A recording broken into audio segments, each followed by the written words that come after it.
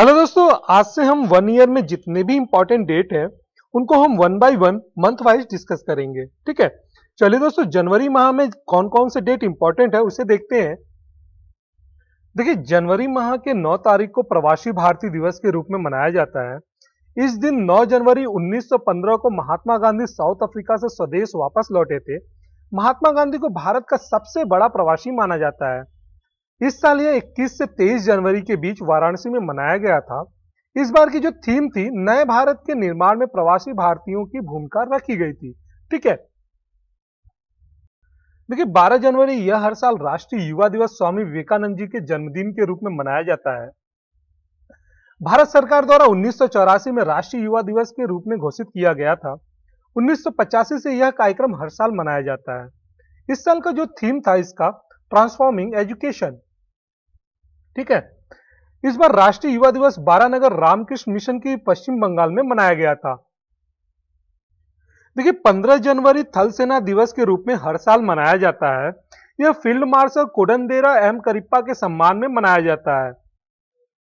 15 जनवरी उन्नीस सौ उनचास को स्वतंत्र भारत के पहले सेना प्रमुख ये बने थे। देखिए 24 जनवरी को राष्ट्रीय बालिका दिवस के रूप में मनाया जाता है। लड़कियों को हर एक प्रकार से समर्थन और अवसर देने के लिए यह हर साल मनाया जाता है। इस दिन समाज में लड़कियों द्वारा सामना की जाने वाली सभी विषमताओं, भेदभाव, शोषण के बारे में लोगों को जागरूक करने के लिए यह मनाया जाता है, ठीक है? इस बार का जो थीम था इसका, वो था एक तेज तर्रार लड़कियों के लिए सशक्तिकरण रखा गया था, ठीक है? देखिए 25 जनवरी जो है आपका राष्ट्रीय मतदाता दिवस के रूप में मनाया जाता है। यह भारत में युवाओं को मतदान के लिए प्रोत्साहित करने के लिए यह दिवस के रूप में मनाया जाता है। ठीक है? इस बार का जो थीम था, कोई भी मतदाता पीछे नहीं छूटना चाहिए। इसका थीम रखा गया था। देखिए 26 जनवरी को गणतंत्र दिवस के रूप में मनाया जाता है। इस दिन 26 जनवरी 1950 को भारत का संविधान लागू हुआ था। 26 नवंबर उन्नीस सौ उनचास को भारतीय संविधान द्वारा इसे अपनाया गया था। यह भारत के तीन राष्ट्रीय अवकाशों में से एक है।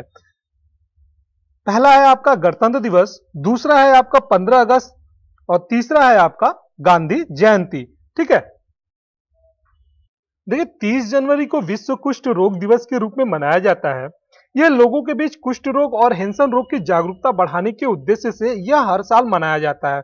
इस साल का जो थीम था इसका वह था आपका। भेदभाव, कलंक और बीमारी से जुड़ी पूर्वाग्रह को समाप्त करना रखा गया था।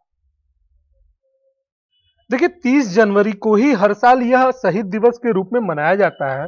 एक तो महात्मा गांधी जी की याद में, दूसरा 23 मार्च को भारत के तीन असाधारण स्वतंत्रता सेनानियों के बलिदान को याद करने के लिए शहीद दिवस के रूप में यह दिवस मनाया जाता है।